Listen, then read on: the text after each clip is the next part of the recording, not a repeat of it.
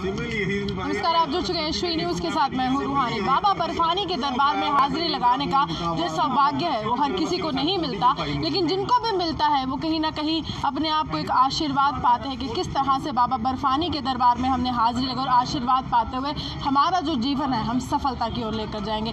काफ़ी सालों से एक, जो है, प्रक्रिया चल रही है, जहाँ पर अमरनाथ यात्रा जो है, वो उसकी शुरुआत हुई। उसके बाद लोग जो है, बाबा बर्फानी के दर्शन करते और उनका आशीर्वाद पाते लेकिन कहीं ना कहीं यहाँ पर भी कहते हैं कि यहाँ पर भी अगर जो लोग लंगर की व्यवस्था करते हैं, उनका साफ़ तौर पर कहना है कि यहाँ पर सियासत हो रही है और सियासी मायने, सियासत हमारे इस पूरे एरिया पर भी देखी गई है। इस फ़ील्ड में भी देखी गई है। अगर आप सेवा भाव से समाज के लिए कुछ करना चाहते हैं तो साफ़ तौर पर आपको करने देना चाहिए। लेकिन कहीं ना कहीं हर बार इस तरह से सियासत होना एक धर्म यात्रा पर बहुत बड़ा सवाल है। हमारे साथ कुछ लोग हैं, मैं इनसे जानने की कोशिश करूँगी कि किस सियासत की बात कर रहे हैं और किस तरह से ये कह रहे हैं कि हरासमेंट इनको हो रही है। सर, सबसे पहले आप मुझे एक बात बताइए, मैंने शुरुआत की कि आप सेवा भाव से लंगर लगाते हैं। कितने साल हो गए आपको लंगर लगाते हाँ? हमें तेरह साल हो गए हैं। ये हमारा चौदहवा साल है।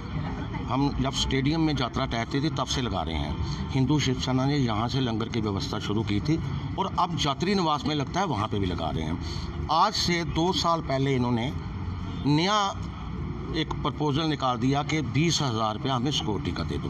हमने जब इनको पूछा कि ये किस चीज़ का है कहने लगे जी ये रिफंडेबल है हम आपको रिफ़ंड कर देंगे। तो हमने बीस हज़ार रुपये दे दिया। तो इन्होंने हमें क्या किया कि एक रेड क्रॉस की रसीद दे दी जिस पे लिखा था रिफंडेबल जब हम लंगर की समाप्ति करते हैं हम इनके पास जाते हैं कि हमें पैसा हमारा वापस दे दो क्योंकि हमारा पैसा नहीं है ये लोगों का पैसा है लोगों से इकट्ठा किया हुआ है। तो कहने लगे नहीं भी वो चला गया रेड क्रॉस में। अरे रेड क्रॉस इतनी बड़ी संस्था है रेड क्रॉस इतनी बड़ी वो है तो इनके पास इतना पैसा है वो हमारे से पैसा ले रही है। उसके बाद एनीवे anyway, अब ये चौदहवा साल है हमें लंगर लगाने का अब ये हमें कह रहे हैं कि परमिशन उन लोगों को दी जाएगी जो लंगर के लिए हमें एक एफिडेविट देगा कि सीसी कैमरा और जनरेटर को की व्यवस्था हम करेंगे प्रोवाइड आप करेंगे तो हम दे देंगे। हम सीसी कैमरा और जनरेटर लेना होगा लाख डेढ़ लाख रुपया चाहिए हम वो कहाँ से लाएँगे? हम पहले ही शहर के विभिन्न विभिन्न एरियो में जाकर राशन इकट्ठा करते हैं पैसा इकट्ठा करते हैं काफ़ी खर्चा होता है दो साल के दो महीने के लिए। तो मैं आपके माध्यम से ये कहना चाहता हूँ कि वहाँ पे बेस कैंप के अंदर कोई भी ज़रूरत नहीं है इनको सीसी कैमरे की कि ऑलरेडी वहाँ लेकिन सर एक सवाल उठता है ना कि जिस तरह से अमरनाथ यात्रा पर आतंकियों की भी कहीं ना कहीं नज़र रहती है एक बहुत क्रूशल एटमॉस्फेयर होता है वहाँ पर सुरक्षा इंतज़ाम बहुत कड़े होते हैं लेकिन कहीं ना कहीं सीसीटीवी जो है वो बहुत एक ज़रूरी माना जाता है। बिल्कुल आपकी बात दुरुस्त है।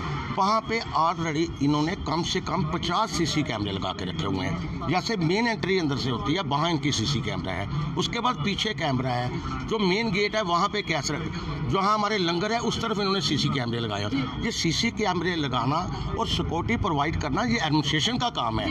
ये शिवसेना का काम नहीं है। अगर हमारा काम है तो ये अपनी सिक्योरिटी सारी बाहर लगा लें हम खुद वहाँ पर अरेंजमेंट कर लेंगे।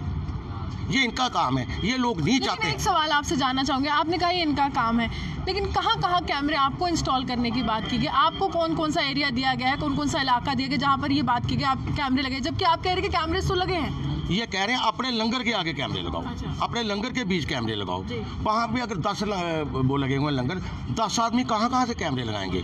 और इन्होंने एक ऐसा कैमरा लगाया है जिसका फोकस पूरा हमारे लंगर पे चलता है। तो ये इनका काम है एक की बजाय दो दो कर ले। एक सवाल है मेरे जहन में। एक तरफ़ से आप सेवा भाव से राशि इकट्ठी करते हैं और एकत्रित करके पैसा जो है आप लंगर व्यवस्था वहाँ पर एक अरेंज करते हैं। जी। देश विदेश से भी आपको वहाँ से राशि आती है। वो एक सेवा भाव है कि लोगों को खाना खिलाना है श्रद्धालुओं को खाना खिलाना भूखे किसी को सोने नहीं देना है। लेकिन कितना बोझ पड़ेगा अगर इस तरह से चीज़ें आपके साथ होती रहेंगी जनरेटर का खर्चा होगा बिजली का खर्चा होगा सीसीटीवी का खर्चा कितना बोझ पड़ेगा? और क्या राशि वो एक महत्वपूर्ण मानी जाएगी जो एट प्रेजेंट आपको इन तमाम संगठनों से मिल रही है? पहले मैं आपको एक बात बता दूँ मैडम कि बाहर से हमें कहीं से कोई पैसा नहीं आता है। हमें जो भी डोनेशन मिलती है वो जम्मू के लोगों से मिलती है। जम्मू के चंद लोग ऐसे हैं जो हमें हर साल डोनेशन देते हैं। उनकी डोनेशन से बड़ी मुश्किल से हमारे से दो महीने का लंगर चलता है। अगर ये सीसी कैमरे कहेंगे जनरेटर कहेंगे तो वो हम लोग नहीं ला सकते क्योंकि उसमें डेढ़ दो लाख रुपया और चाहिए।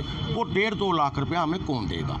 दूसरा ये है कि महीने डेढ़ महीने के लिए जहाँ तो ना पक्के शर्त दिए हैं मैंने पक्का बना दिया लगा लो जी आप। क्योंकि आपने हर साल लगाना है। हम पैसा खर्चे के लगा लेंगे। ये महीने के बाद इन्होंने वहाँ से शेड उठा लेना है। तो वो कहाँ रखेंगे हमारे?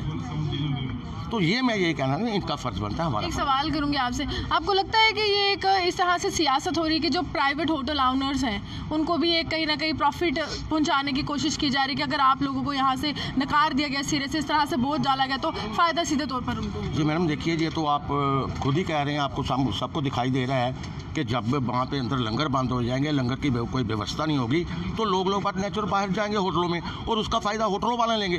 तो मुझे लगता है कि इस एडमिनिस्ट्रेशन के अंदर कुछ लोग होटल वालों के साथ मिले। आहत होते हैं कि इस तरह से सेवा भाव लेकर हम सामने आते हैं और हमें ही पीछे कर दिया जा रहा है। ये हर बार करते हैं मैडम ये इनका मैंने मैं ये लोग चाहते हैं। मुझे लगता है कि जब भी अमरनाथ की यात्रा आती है ना इनको ऐसा लगता है कि इन पर कोई पहाड़ गिरने लगा है। ये मुझे लगता है कि ये एडमिनिस्ट्रेशन टोटली फेल है ये अमरनाथ की यात्रा को संभाल नहीं सकती है। ये एक बहाने लेते हैं ताकि लोग यहाँ पे गवर्नर साहब से क्या अपील करना चाहिए? किस तरह से आप लोगों की भी एक गुहार जो है उन तक देखिए जी हमें गवर्नर साहब पे पूरी उम्मीद है। हमारी आवाज़ आपके माध्यम से मीडिया वालों की तर- तरफ़ से पूरी गवर्नर के साथ पहुंचेगी और वो इस पर पक्का डिसीज़न लेंगे और इस प्रपोजल को मुझे लगता है कि ये कैंसिल करेंगे और उनको भी पता है कि ये संस्थाएँ जो हैं, ये लोगों से पैसा इकट्ठा करके लाती हैं। दूसरा, मैं आपके माध्यम से ये क्लियर कर दूँ कि एडमिनिस्ट्रेशन की तरफ़ से ना कोई राशन मिलता है, ना कोई चीनी मिलती है, ना कोई गैस मिलती है, ना कोई कैरोसिन ऑयल मिलता है। कुछ नहीं ये देते हैं, ये सिर्फ़ एक शेड बना के हमें दे देते हैं। तो जाइए, बिजली भी हमारी, पानी भी हमारा सब कुछ हमारा है। ये सब फ्रॉड करते हैं हमारे साथ। साफ़ तौर पर बाबा बर्फानी के दरबार में जो लोग हाजिरी लगाने के लिए जाते हैं तो कहीं ना कहीं एक रोल जो है लंगर वालों का भी रहता है, जो यहाँ पर चाहते हैं कि लोग जो है भूखे ना सोए, उनको खाना मिले। लेकिन हाँ सियासत यहाँ पर भी हो रही है। यहाँ पर साफ़ तौर पर कहा गया बीस हज़ार रुपये जमा करवाइए रिफंडेबल होगा, पैसा वापस मिलेगा रेड क्रॉस में पैसा चला गया और पैसा वापस नहीं मिला। दूसरी चीज़ इन्होंने बताई कि सीसीटीवी जो कैमरास है, उसको इंस्टॉल करने की बात है, क्योंकि सुरक्षा इंतज़ाम चाहते हैं कड़े हैं, जबकि इनका कहना है कि ये जो सारी बातें ये स्टेट एडमिनिस्ट्रेशन के दायरे में आती, हम ऐसा क्यों करें? और एक और बात जो साफ़ तौर पर इन्होंने कही कि हम जो है, हम चाहते हैं कि खलल नहीं डाली जाए और साफ़ तौर पर जो है एक सही तरीके से यात्रा जो है वो चले और लोग जो है बाबा बर्फानी के दर्शन साफ़ तौर पर कर पाए। जम्मू से रूहानी की रिपोर्ट।